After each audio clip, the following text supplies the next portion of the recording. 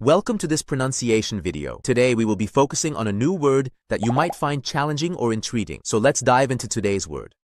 Gas, which means a substance in a state where it expands to fill its container. Let's say it all together. Gas.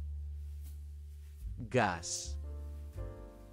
Gas. One more time. Gas. Gas. Gas. Thank you for joining us on this adventure in pronunciation. Remember, language is a journey, not a destination. Keep exploring, experimenting, and expanding your linguistic horizons. We'll see you next time.